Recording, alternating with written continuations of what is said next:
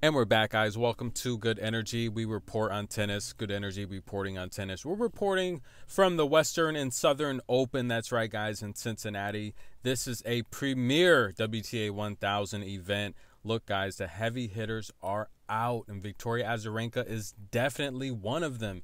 Taking out Kanepi, it took three sets. She won the first set 6 3, dropped the second, came back guns blazing in the third set it's good to see Victoria Azarenka looking good. Remember, guys, Paula Badosa said that's body goals. She's looking good in the Nike spandex.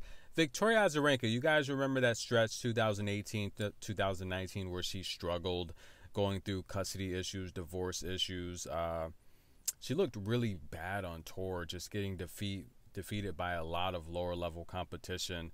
But nonetheless, she's back. And look, Victoria Azarenka lately, at least for the last year and a half, she can get through to the the Sweet 16, the semifinals, but her body hasn't been holding up lately. It's like she's getting injured at the wrong times.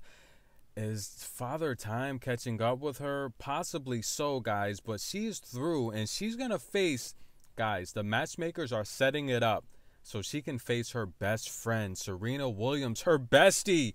If Serena Williams can, can get past Emma Raducanu, she's going to face Victoria Azarenka one last time. These two have had some amazing battles.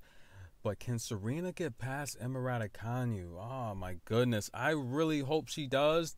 I think she can. You know, look, I've went back and forth with several subscribers.